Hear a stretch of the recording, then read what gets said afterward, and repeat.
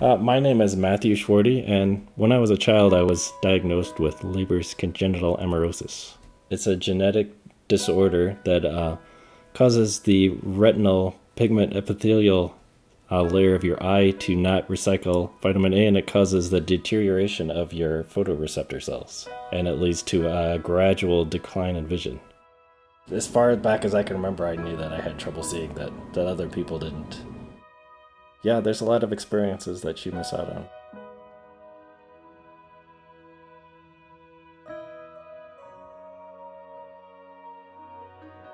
Before the procedure was pretty scary.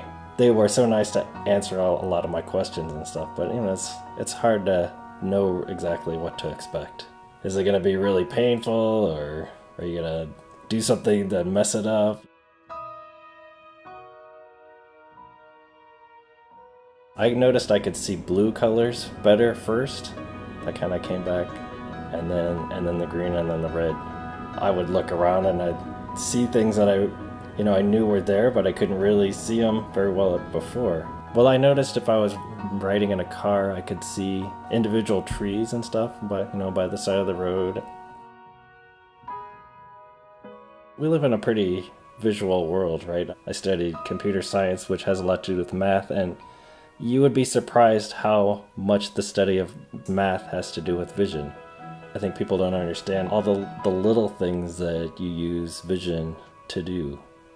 Well, the way my vision is, I can see a lot better if it's something that's bright on a black background. Like if I'm using my computer, I'll set up the text to be white and the background to be black.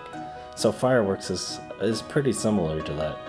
So that's um, really striking when I can see those better.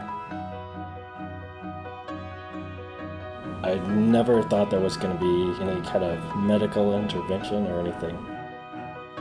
But it was, you know, 30, 30 some years later that it was it was pretty amazing news.